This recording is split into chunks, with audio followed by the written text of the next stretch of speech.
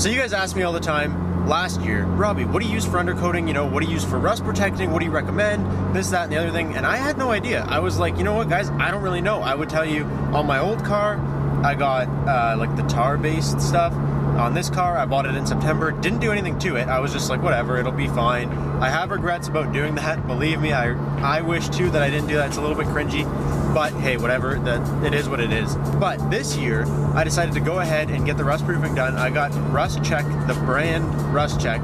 They just use like a Rust Check brand uh, oil coating, and they go all over the car, and I know this is going to be a huge, huge question come winter this year when people see me driving this car because I don't think it's in my budget to get another car, unfortunately, and this is going to have to see another winter, which is fine. To me, a car is a car. I can do all these things, make it really nice, beat the crap out of it, drive, have fun with it, but at the end of the day, it's still my car, and that's what it's built to do. It, it's built to get me around, and it's built to you know, withstand weather conditions. And is it going to last forever if I drive it in the winters all the time?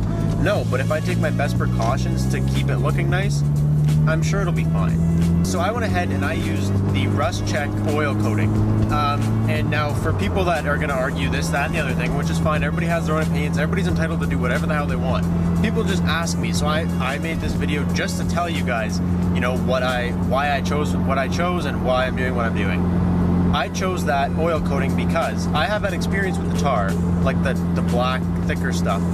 And I didn't really like it because I feel like once it's on there, it never really comes off. And for a person like me who likes to work on their car, when I would go to do stuff and it was like caked on there really hard and you really just couldn't get it off. Um, it was on there for like that. I know, and I know that's the point of it.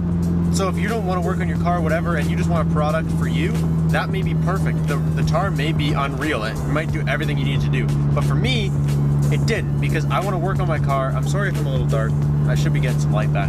Um, I want to work on my car myself and I want to do these things and I don't want to have to deal with parts being like completely frozen on there covered in crap you can't get it off. So I chose this because it's more of an oil based, meaning that it's not necessarily easy to get off. That's the point is it repels water, it repels salt, like it doesn't let your car rust.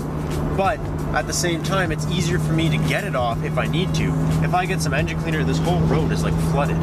Um, if I get some engine cleaner and spray it on there and power wash it off, it'll come off just fine. So I decided to go ahead with this because it'll be able for me if I ever want to do, you know, change my coilovers out. I just blast it with some engine cleaner, or put some engine cleaner, blast it with the pressure washer, and then it's gone. Um, and then I have a clear working space, whereas the tar, you can't really do that. Also, there's like the module that you can get, and I chose to not go ahead with the module because I believe they work. I do believe that there's obviously a reason they sell, but I like seeing results. And if I can physically see there is a layer between the salt on my car and my car, to me, I'm like, okay, yeah, that's working. But when I'm just like, okay, and my car is covered in salt and I'm trusting this little box that I can't see and I don't know. And now some of you guys will probably like, no, I don't want that to happen to me. I don't want them drilling into my car. But they don't have to drill into your car. And that's something that people don't understand. They don't drill all over the place. Most cars that are, you know, sold in the States and Canada, um, they have pre-drilled holes. And surprisingly enough, my BRZ had pre-drilled holes. So on the rocker panels, there was three pop-out things. Um, you pop those out and just go nuts in there. Uh, they can get to your quarter panels through when your door is open. They can get to your rear quarter panels through the trunk. They can get into the trunk um, a couple of ways. I went just behind, like when I showed them, I just showed them to go behind the like little piece of carpet that's in the trunk, but there's also, you know, two more little holes for where your wing would go, or for where the bolts are for your wing. Um, access points to the trunk. The, I let them drill one hole, and that was in my door because I didn't want them taking all this off, and I don't want it coming on and off and on and off every year that I have to get it rust proof because I feel like that's just going to lead to problems. Not problems, but just like early wear. You know what I mean? Like I just I would rather them drill a hole once and then they don't have to go in and out every time, take this on and off, whatever. But other than that, they were able to get my whole car. They spray under the hood, they spray everything front to back, upside down. The whole car is covered in this stuff.